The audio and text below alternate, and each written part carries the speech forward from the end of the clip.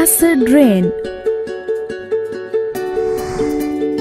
Dear students, acid rain is a rain that is unusually acidic, meaning that it possesses elevated levels of hydrogen ions. It has harmful effects on plants, aquatic animals, and infrastructure.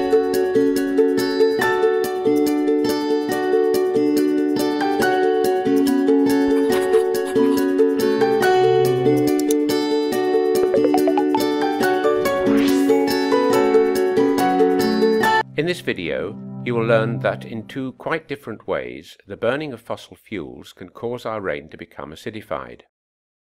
Sulfuric acid arises from the burning of coal and oil, mainly in power stations, whereas nitric acid arises from the exhaust pipes of our motor vehicles.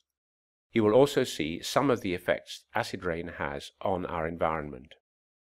Firstly, it's important to understand that rain is naturally slightly acidic. Whilst falling to the ground, the rain dissolves carbon dioxide from the atmosphere to form carbonic acid, a weak acid giving natural rain a pH of 6. It's when we burn fossil fuels that much stronger acids get into our rain, to form acid rain with a pH as low as 3. When the pH changes from 6 to 3, what do you think the acidity increases by? Two times? Three times? Ten times? A thousand times? Pause and think.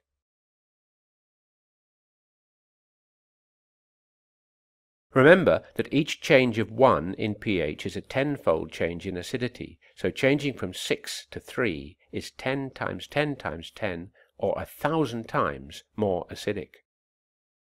We'll consider sulfuric acid first. Plants need a little sulfur to grow.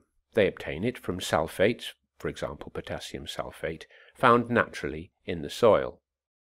The sulfates are taken up by the plant's roots and sulfur atoms become bonded to carbon atoms in the leaves' proteins. When plants die and eventually form coal and oil over millions of years, these sulfur atoms remain bonded to the carbon atoms. The sulfur content of coal and oil is usually between 1 and 4% by weight.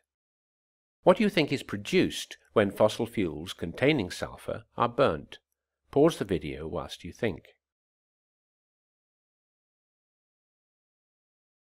When the coal is burnt, the sulfur and the carbon atoms join with oxygen from the air and are released into the atmosphere as carbon dioxide and sulfur dioxide.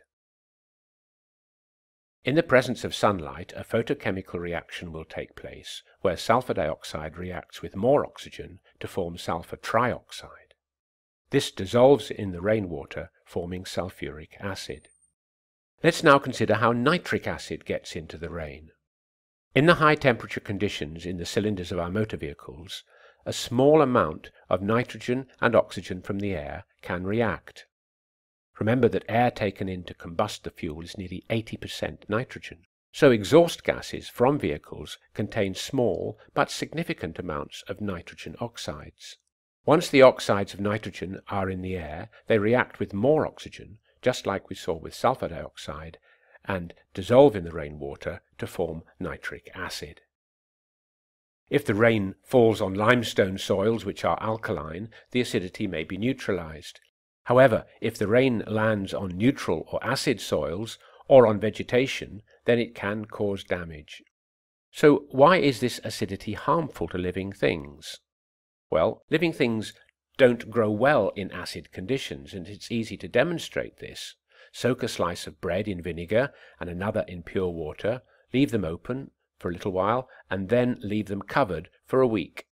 You will find that the bread soaked in vinegar has not gone mouldy, whereas the other bread has. In fact, we use vinegar to preserve food in a process called pickling. This is the case because certain enzymes which are vital for growth are unable to function in acid conditions. The other main problem is in the soil. Whilst naturally occurring toxic metals such as aluminium are insoluble and therefore fairly harmless in neutral soil, they become soluble in acidic soil. They then get taken up by living things and take the place of essential metals such as zinc and iron. To add to this, the hydrogen ions in the acid rain will replace essential metal ions such as potassium, magnesium and calcium, which are normally held in the clay soil, causing these essential metals to be washed deep into the subsoil away from the roots of plants.